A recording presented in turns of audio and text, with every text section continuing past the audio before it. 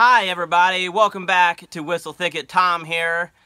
I am going to talk about something really, really cool that's happening next month. You may have heard about it already, but I don't want anyone in America to miss this. We are so lucky there is a solar eclipse happening next month, August 21st. The thing that makes it so awesome, this is the first time in close to 100 years that we have had a solar eclipse go from the west coast to the east coast.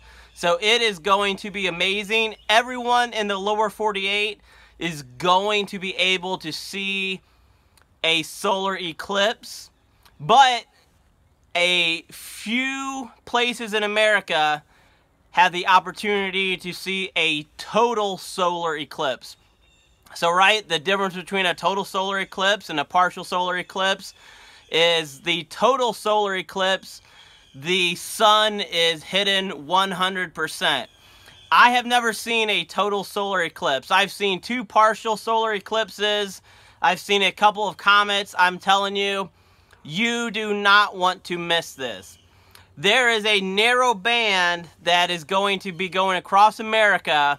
It's about a 70 mile wide band where if you live in this area, you will see a total solar eclipse. So there are some states that if you live near these states, I would drive to see the total solar eclipse. I have never seen one before, but from people I have talked to, what the news is saying, the difference between even a 99% eclipse and a total solar eclipse is like if you won the lottery would be the total solar eclipse versus having nine of the 10 numbers, right? So you're still excited, but you didn't really win anything. So if you live near these states, you need to figure out a way to get into this 70 mile wide band in order to see the total solar eclipse. So these are the states where the total solar eclipse is able to be viewed from. It is going to start in Oregon um, at about 9 a.m. is when the eclipse will be starting in Oregon. Then it's going to go into Idaho, Wyoming, and Nebraska. Um, from there, it's going to pass through Kansas, the state of Missouri, uh, the state of Kentucky, then it goes into Tennessee, Georgia, North Carolina, and then around 1 p.m., it's going to go through South Carolina. If you live in any of these states, you would be a fool, a fool, not to get inside this 70 mile band.